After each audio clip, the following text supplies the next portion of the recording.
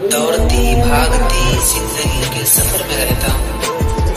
दौड़ती, भागती, ज़िंदगी के सफ़र में रहता हूँ। मैं हर वक्त अपने घर के फ़िक्र में रहता हूँ। मैं हर वक्त अपने घर के फ़िक्र में रहता हूँ। मेरा काम अक्सर ये सवाल करता है मुझसे। मेरा काम अक्सर ये सवाल करता है मुझसे। मैं माँ को छोड़ कर